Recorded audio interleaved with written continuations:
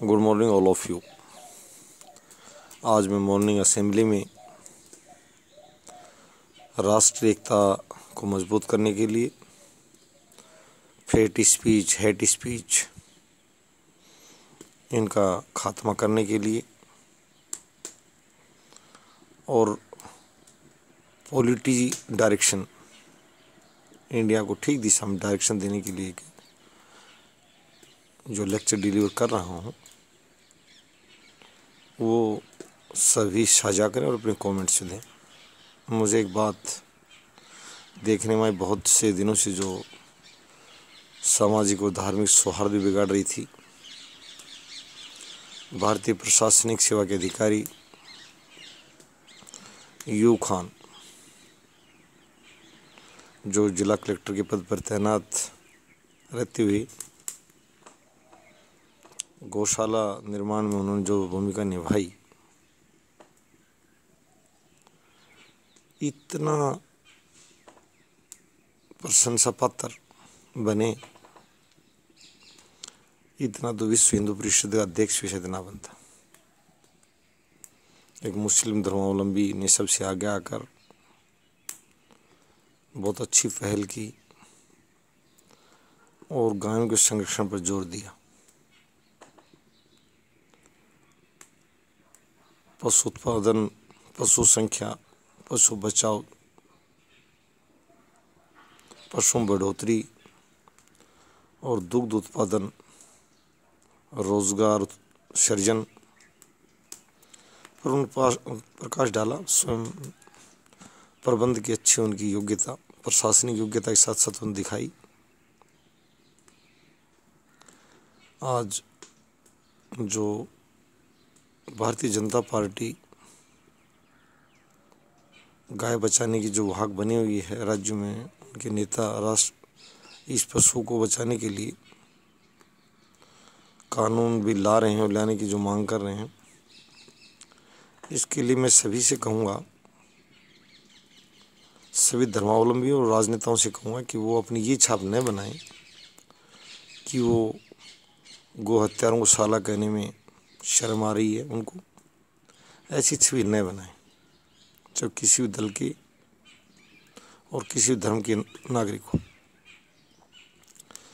गाय को ये सर्वमान्य है, पूजनीय धर्म एक मान सकता है, परंतु गुणकारी सभी धर्म के लोग मानते हैं। पशु संवर्धन को सभी स्वीकारते हैं और दुग्ध उत्पादन से बढ़ाना चाहते हैं। आम सहमति बने। न फैट स्पीच दी जाए न हेट स्पीच दी जाए फेक स्पीच में मना करूँगा। विदेशी कुतिया पालन के स्थान पर गोपालन को ज़ोर दिया जाए। कुछ नेताओं को मैंने देखा कि बड़ा तिलक लगाकर, बड़ा छोटा गांठ कर, और तो पता चला भैया, ये तो कभी गाय का दूध भी नहीं पीता, न गाय की रक्षा करता है। सिर्फ़ वोट उत्पादन की मशीन है ही समाज में आग उगल सकता है, ये तो विदेशी कुतिया पालता घर में। ऐसा नहीं होना चाहिए किसी के साथ भी। उन लोगों को लताड़ूँगा मैं कि सिर्फ़ वोट के लिए इस तरह की प्रवचन न दें। गौ माता को वास्तव बचाने राज सहायता दी जाए। गो वध बंद करना एक बहुत ज़रूरत और अच्छी बात है। गो हत्यारों को भी, साला कहना भी अच्छी बात है, कोई बुरी नहीं है। परंतु साथ में उनको सड़कों पर वाहनों से मरने के लिए नहीं छोड़ा जाए। उनके लिए उचित प्रबंध किया जाए। उचित चिकित्सकों की व्यवस्था की जाए और राज सहायता बढ़ाई जाए। देसी गाय दोषी नहीं है। हमारी सभी देसी चीज़ें प्रतिस्पर्धा के सामने मशीनरी हो अन्य चीज़ें हों। उनको सहायता की ज़रूरत पड़ी उनका संरक्षण करने के लिए, उनको जीवित रखने के लिए। उसी का हिस्सा गाय बन गई देसी गाय।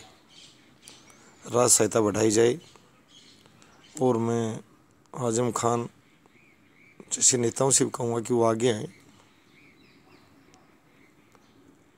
अपने एक अच्छा उदाहरण पेश करें। यदि कोई दूसरा हेट स्पीच देता हेट स्पीच न दें। आप सहिष्णुता से जवाब दें। आपका कद बढ़ेगा। और सबसे पहले मैं मुस्लिम नेताओं और मुस्लिम धर्मावलंबी से कहूँगा कि वो गाय की रक्षा के लिए आगे आएँ और उन पर किसी प्रकार का भद्दा ठप्पा नहीं लगे। जब वो अपने दूसरे साथियों, दूसरे धर्म के लोगों में जाएँ तो लोग उनको इस रूप में नहीं जाने कि इस धर्म का आदमी है। कभी ये इस चीज़ का उपभोग करता है, ऐसी गंदी बातें जो उन पर ठप्पा को लगा भी रहा है तो उसका प्रतिवाद करें। कि कोई ऐसा गंदा आदमी होगा, हम तो साले को खुद को मारते हैं, उसको हमें पता लग जाए तो हम तो चाहते नहीं किसी धर्म की भावनाओं को व्याहत की जाए। मुस्लिम धर्म की ईमानदारी प्रशंसा की जाती है, सिख धर्म की सेवा की प्रशंसा की जाती है, हिंदू धर्म की सहिष्णुता की प्रशंसा की जाती है, और जैनिज़्म जीव रक्षा के लिए प्रसिद्ध है, कीड़ी को नहीं मारना चाहता, और ईसाई डोनेशन दान में विश्वास रखता है। ऐसे ढेर गुण हैं, धर्मों से जो मिले हैं। हमें समरसता बढ़ानी है। गोरक्षा की बात। गोरक्षा का आह्वान सिर्फ़ योगी आदित्यनाथ जी न करें। अखिलेश और आज़म खान भी करें। ये उनका राष्ट्रीय और सामाजिक दायित्व है, धार्मिक दायित्व है। इससे एक अच्छा मोटिवेशन बनेगा समाज और राजनीति के अंदर। और ये चीज़ें नफ़रत के भाषण दूर हो जाएँगे। कहते हैं, जब सामने से वही आवाज़ आ जाती है तो फिर एक सुर हो जाता है। इसकी रक्षा के, इसके गुणों की सहर स्वीकार्यता हो। और इसके इसके संरक्षण और दुग्ध उत्पादन के लिए सामूहिक प्रयास हो। और जो ये शब्द एक बहुत ही गिरा और नीच शब्द चला था जो गो हत्या गोवध ये भारत की धरती पर सुनने को नहीं मिले। ये उचित शब्द नहीं है। ये अस्सी प्रतिशत जनता की तो धर्म की आस्थाओं से जुड़ा मामला भी है। तो मैं दूसरे धर्म के लोगों से कहूँगा, वो अपने साथी धर्मावलंबियों के साथ कंधा से कंधा मिलाकर और इस पवित्र कार्य में जुट जाए। समय आने पर हम भी उनका इसी तरह से साथ निभाएँगे। हम भी हेट स्पीचेज से अपना आप हेट करने लग जाएँगे। युग खान साहब ने जो उदाहरण पेश किया है, गौ निर्माण के लिए, गौशाला निर्माण के लिए, ऐसे सभी मुस्लिमों के लिए ये एक प्रकार से उदाहरण बने और दूसरे धर्म के लोग भी इसमें जुड़ें और राज सहायता बैठे। सरकार ये राज सहायता देना सिर्फ़ भारतीय जनता पार्टी का कार्य नहीं है गौ संरक्षण पशु संरक्षण, दूध उत्पादन बढ़ाने, रोज़गार सृजन कार्य सभी दलों का है। तो घबराए नहीं। मुस्लिम धर्मावलंबी साथ हमारे। उनको तो कहा भी गया कि आपके पड़ोसी का ध्यान रखना, भावनाओं का आपको धर्म में सीख दी गई है।